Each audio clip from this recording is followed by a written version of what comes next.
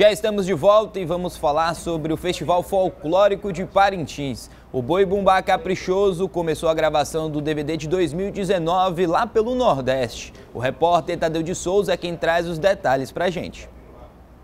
Bom dia, Vitor. Alô, você em casa que está nos acompanhando. Alô, parintinenses que moram na capital do estado, que estão ligados no Boletim em Tempo.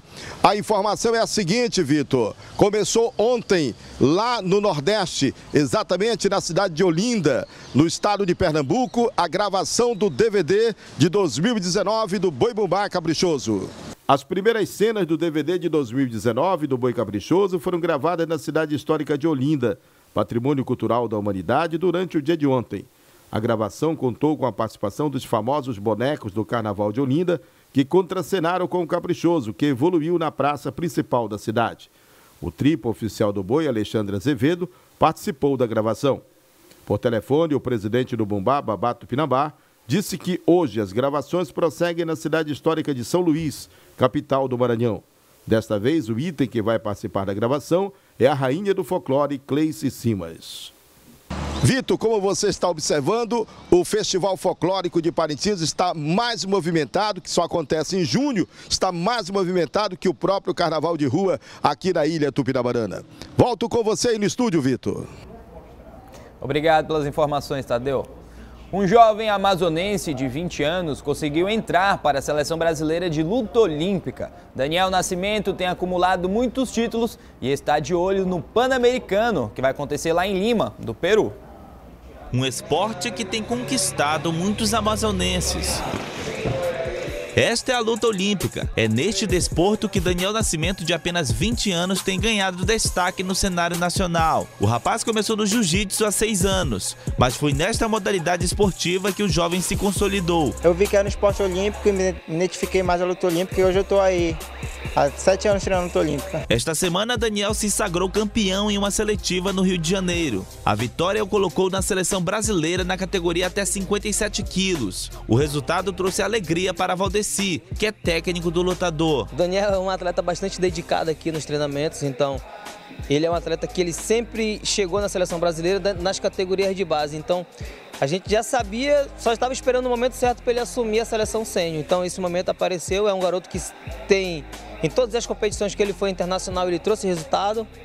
Então eu acredito que ele tem um futuro bastante promissor aí dentro da seleção. A próxima etapa para Daniel é o pré-pan-americano que vai ser realizado lá na cidade de Buenos Aires, na Argentina, entre os dias 18 e 23 de abril. Se classificado entre os cinco, ele garante a vaca para o Brasil, mas ainda precisa vencer o campeonato nacional sênior. E Daniel já está otimista para as competições. Agora eu treinar é, consertar o erro, ver onde estou errando, me esforçar mais e conseguir classificar minha categoria nesse Pan-Americano. Vencendo a seletiva nacional, o amazonense está apto para defender o Brasil nos Jogos Pan-Americanos que serão realizados em Lima, no Peru, no segundo semestre deste ano. A todos nós, resta desejar boa sorte ao jovem atleta.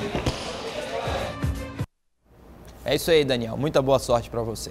A diversidade da culinária brasileira é algo que chama a atenção e atinge os mais diversos paladares. Aqui em Manaus, além dos pratos típicos da região amazônica, também é possível encontrar iguarias de outros estados. Confira aí na reportagem. Olha só essas delícias, todas feitas com milho. As receitas vieram de Goiânia. A dona Ivonete montou uma pamonharia. Ela faleceu há cinco anos e os filhos continuaram a tocar o negócio. E deu certo. Em Goiânia já tem muita pamonha recheada, né? Que a gente é pamonha com queijo, a pamonha moda goiânia, que tem uma linguiça no meio, a salgada, né, no caso, com pimentinha, a pamonha com frango catupiry, a pamonha com goiabada. Então, assim, a gente tenta, é, a gente vê a, a receptividade do pessoal em relação com esses produtos, né, e a gente tenta fazer o melhor possível e, e trabalhar com variedades.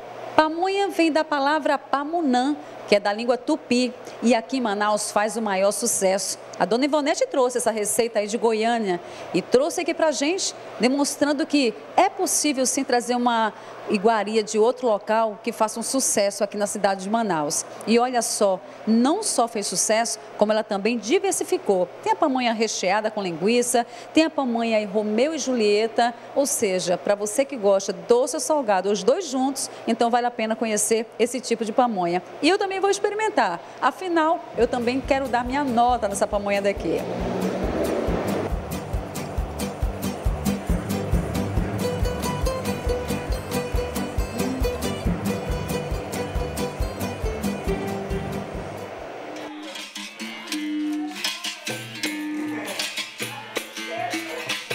Agora chegou a vez de conhecer um pouco das maravilhas de uma região apaixonada por música e jogo de capoeira. E agora vamos dar um pulinho no Nordeste. Vamos mostrar o que é que a Bahia tem. E a Bahia tem a Carajé e dos bons. Esse casal amazonense faz parte de movimentos culturais aqui em Manaus. Eles foram conhecer a Bahia e se apaixonaram pela culinária. Resultado? Resolveram vender as delícias do Nordeste aqui na capital. Começaram nas feiras e agora, depois de dois anos, criaram o espaço cultural Minafro Brasil, que une a boa comida baiana à música e capoeira. Eu já amava a culinária baiana e veio as propostas de trabalhar nas feiras. E eu fui, digamos assim, na cara e na coragem para as feiras e só com os elogios só fez eu me aprofundar mais e mais a cada dia na culinária baiana. A capoeira que nós praticamos aqui, ela tem essa descendência, essa ancestralidade com a capoeira baiana. Então nós trazemos a capoeira angola para o nosso espaço. A Railene faz todo o processo das comidas. O acarajé leva uma massa de feijão fradinho e tem segredos que, é claro, ela não revela. E aí é só degustar.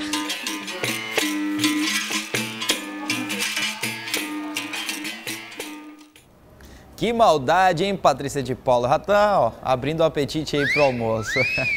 E para você que acompanha todas as manhãs o Boletim em Tempo, não esqueça de participar com a gente. Mande aí a sua mensagem pelas nossas redes sociais, na página da TV em Tempo no Facebook e também no YouTube. Ou então, segue a gente lá no Instagram, arroba TV em Tempo Online. Você também pode enviar sugestões de matéria ou denúncias através do nosso WhatsApp. Anote aí o número, 99207 0090. O Boletim Tempo de hoje vai ficando por aqui, mas nós temos um encontro marcado amanhã, no mesmo horário, hein? às 10 horas da manhã. Fique agora com o programa que vai trazer as notícias de segurança pública, um giro nas ocorrências policiais de Manaus e do interior. É o Namira.